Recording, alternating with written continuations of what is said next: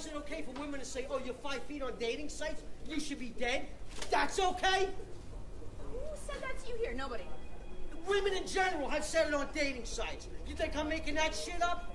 Everywhere I go, I get the same fucking smirk with the biting lip. Shut your mouth. You're not God or my father or my boss.